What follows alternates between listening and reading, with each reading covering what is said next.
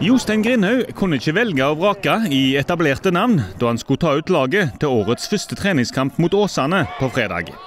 Dermed var det omtrent bare unggutter som utgjorde reservestyrkene i Storhall Karmøy. Det mest bekymringsverdige skadeforfallet sto fjorårets beste spiller, Sondre Liseth, for. Han pådro seg en leddbåndskade i ankelen under en joggetur i ferien. Ja da, den er ikke helt eh, heldig, den, så det var, det var kjedelig. Er det et leddbånd som røker, eller? Ja, det, det er et leddbånd som har fått det litt tøft her, så jeg sliter med. Så det, det går eh, to-tre uker med den her, og så skal jeg vel klart løpe igjen. Så det er ikke sikkert at det er så omfattende nødvendigvis. Men eh, garantert klar til seriestart? Ja, Man kan ikke garantere noe, men det, det skal jeg nok klare å bli, med mindre jeg får, får trøbbel når jeg skal begynne å løpe igjen. Men det ser veldig lovende ut så langt, så vi får bare se. Du kommer inn ned til Spania og sola deg, så går det fort etter? Ja, jeg har fått meg billett ned der, så det blir ned og få trent bra og så slappet mye av. så blir det bra. Tore, du fikk deg ei lårhøne, måtte ut uh, tidlig. Ja, fortell hva som skjedde? Jeg rota meg inn i en situasjon hvor jeg ble sandwicha, og så ga Erling meg en solid inn. Ja, Det er av sine egne skader. Erling flott ved Myklebust. Ja, nei, Det er bra power i han, så, men det er sånn skjer. Det er over et, uh, et par dager, det. Ja, så Han ødelegger ikke Spania-turen på noen måte? Nei, nei. Jeg skal ikke la han gjøre det. Erling Flåtve Myklebust, eh, litt av en debut i Åsane-drakten. Du skåra Åsane sitt mål i dag? Ja, det er gøy det. Alltid kjekt å starte med et mål. Da har du liksom satt standarden. Hvordan opplevde du den eh, situasjonen? Veldig bra press av Didrik. Didrik. Man snakka om det i forkant, at det er sånne situasjoner vi har lyst til å hogge til på. Så det var akkurat som kampplanen.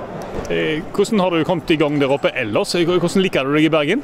Nei, Jeg liker meg veldig godt. Veldig fin gjeng. og og har kommet godt i gang. Eh, så bare, bare bra til nå. Hvor mye skal vi lese ut av at du starta i dag? Er du i ferd med å bli etablert i dette laget allerede? Jeg sikter mye inn på å starte de fleste kampene. Eh, det er det som er målet mitt. og Per dags dato er det litt tynt på topp, så vi må bare benytte sjansen. Så du skal gå fra toppskårer i verden til toppskårer i Åsane? Ja, så klart. Flott, takk skal du ha. Ulrik, du spilte 60 minutter i dag. Er du fornøyd med egen innsats, eller? Ja, det, det var, var, greit. Litt uheldig med målet vi slapp inn imot, men, eh, men eh, greit første kamp. Ja, hvordan opplevde du den eh, tabben der? Nei, Jeg tror jeg var litt uheldig med touch, så bryter de. Så ja, kommer Erling først på når de, når de tupper han igjennom. Så, sånn skjer. Ja. Du, Han karen som står på sida av deg her, hvem er det fra en?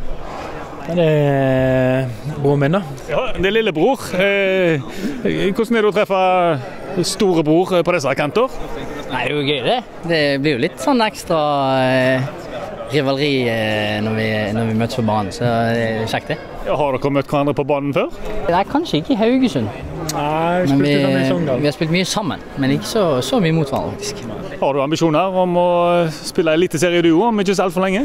Ja, det har jo vært eh, målet lenge, det. Men eh, Er det Haugesund som er planen nå? Ja, Haugesund er planen. Jeg fulgte etter han til Sogndal, så da må jeg faktisk eh, muligens følge etter han til Haugesund igjen.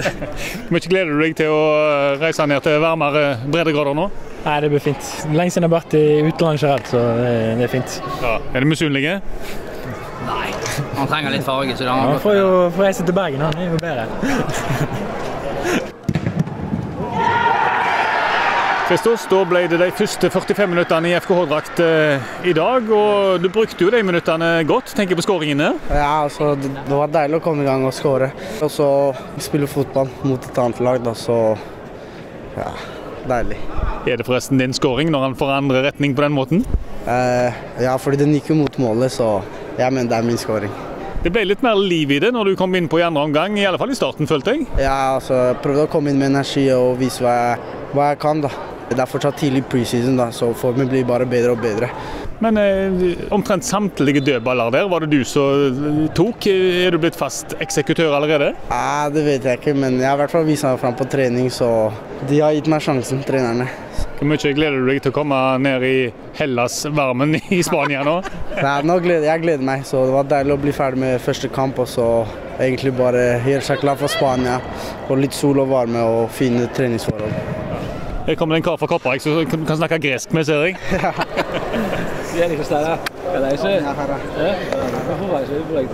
Jostein, hva fikk du ut av denne årets første treningskamp? Ja, Vi fikk jo 90 minutter med bra fysisk utbytte.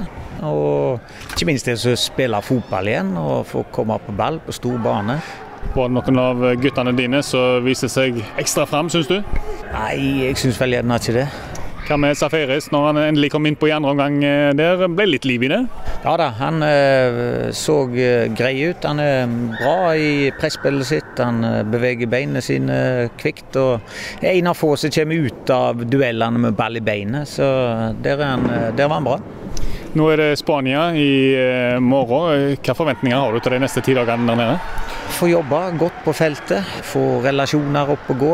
Og så får vi se om vi klarer å signere noen spillere mens vi er der nede. Ja, jeg spurte Oppedal om det kommer noen nye der nede. Så til, så var det litt sånn hemmelighetsfull. Ja. Men det kan skje ting snart òg, kanskje? Det hadde vært kjekt hadde vi kunnet spett på med noen spillere der nede, men akkurat nå så har vi ikke noen opp i dagen, for å si det sånn. Hvor mange nye mann er det som er inn her eh, etter det torvet? Eh, ja, vi må iallfall ha fem-seks spillere her inn, så, så står Det blir travelt da de neste ukene? Ja da, det gjør det. Eh, men det er litt pirrende, det òg. Solkremen og alt er pakket? ja, det håper jeg Rokstad pakker. Jeg, eh, jeg har gode folk rundt meg som passer på.